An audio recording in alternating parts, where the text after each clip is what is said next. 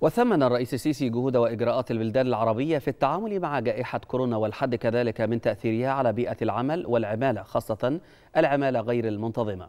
كذلك ثمن السيد الرئيس قيام منظمة العمل العربية بطرح موضوعات جديدة تواكب التطورات العالمية.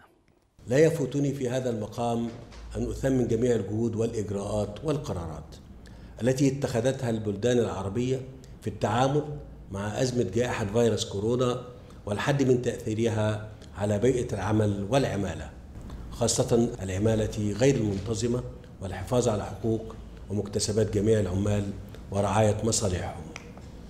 كما أثمن قيام منظمة العمل العربية بطرح موضوعات جديدة تواكب التطورات العالمية وتعمل على توفير وظائف حقيقية للشباب وتستهدف على نحو خاص تمكين المرأة اقتصاديا ودمج الأشخاص ذوي الإعاقة ومكافحة عمل الأطفال بما يحقق للاقتصاد العربي التنمية والرخاء.